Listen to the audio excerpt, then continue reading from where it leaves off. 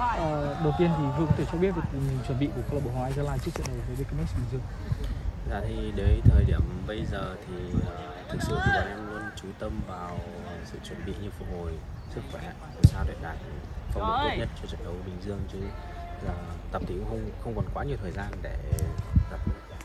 quãng thời gian nghỉ ngơi là không nhiều mà trận đấu thì diễn ra liên tục vậy ờ, thể lực có phải là một cái trở ngại với các cầu thủ trong trận đấu vào ngày 2 tới? Vâng, đúng em nghĩ là đôi khi những trận đấu tiếp theo là những trận đấu về tinh thần và thể lực thì cái quãng thời gian thi đấu thực sự nó rất là là ngắn thi đấu liên tục như thế cầu thủ bị hao sức rất là nhanh Vậy thì, thì ờ, em nghĩ rằng ừ,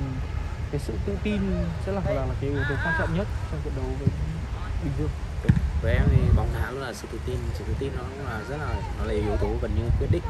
một, trận đấu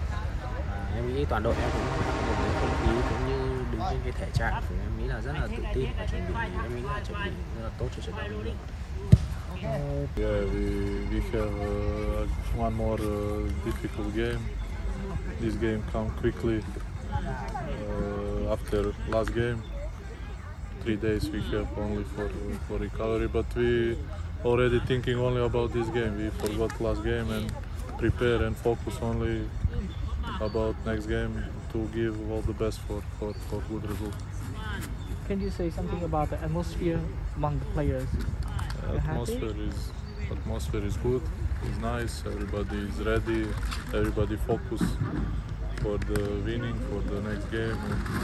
it's okay what do you think about Dương? in June Yes. it's a good team uh, Bình Dương hỏi câu. in V League have many good teams but uh, we thinking more about us we thinking about other but we focus about our game so if we play like uh, before I think we can he, we can uh, take good result Uh, this season, Hoàng Anh Gia Lai play really well in terms of defense. Uh, it's relative uh, different from the last season. So, what do you think about why we can change it so quickly? uh, all the team play uh, defend all the team play attack and we uh, follow tactical from coach and that's all So, Mùa này thì trung bộ Hoàng Anh Gia Lai đã tỏ ra cực kỳ nguy hiểm ở trong những phương án rút xa. Và huấn luyện viên kia sát được biết tới hồi thi anh hồi thi đấu cũng là một người từng hiện rất nhiều cú sút xa hàng trái phá vậy thì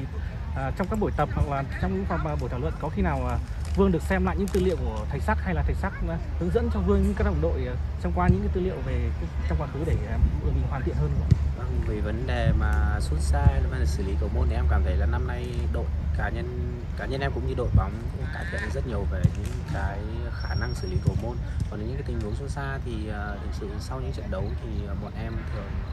được thầy ra cho những nói nói biết là như thế nào sút như thế nào hay là phải dứt điểm như thế nào để đạt hiệu quả cao nhất Ờ, Vương nghĩ thế nào về trận đấu tới khi mà các em sẽ thi đấu trên sân không khán giả? Vâng thì ở đó cũng nói chung là thực sự là cầu cầu thủ mà thực sự khán giả là một thứ gì đó là nó với em nó là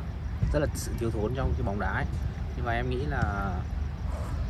bây giờ thì cái thứ nhất là an toàn nhất và cái thứ hai công việc của bọn em thì bọn em dù cũng không có dân đá hay dù như thế nào thì bọn em vẫn phải chiến đấu. À, Vương phải tiết lộ chút